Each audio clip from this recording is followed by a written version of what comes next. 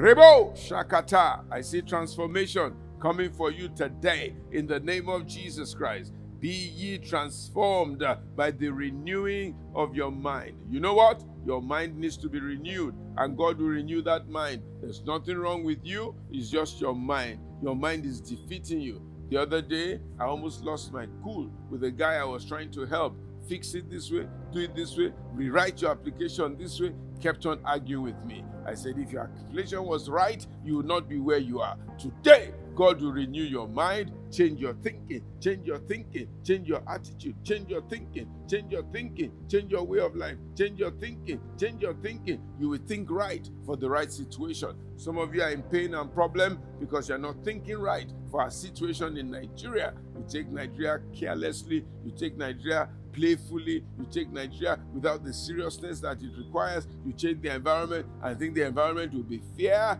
No, you have to fight for that right in the name of Jesus Christ, and God will make a way for you. Roll away the stone, and God will bring forth Lazarus. Receive your breakthrough today in Jesus' name.